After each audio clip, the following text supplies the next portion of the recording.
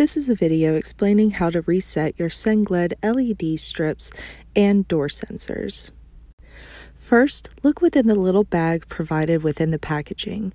You should be able to locate a little pin that will help you reset the device. Select the pin and find the small pinhole. On the LED strip, you will be able to find the pinhole on the controller with the power button to turn the LED strip's lights on and off. On the door sensor, it should be on the bigger piece of the door sensor. Take the pin and insert it into the pinhole. You will feel some resistance as you press down, and you want to hold for 5 to 8 seconds.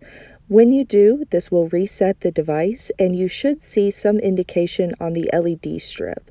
On the door sensor, you will not see any indication, but it is reset. Once the device is reset, it will be in pairing mode for three minutes while powered on. You can unpower the LED strip by unplugging it from the wall in order to preserve this pairing mode until you're ready to pair the device. The door sensor you can reset again after the three minutes. And just like that, you're all set and ready to pair your device. Thank you very much for watching.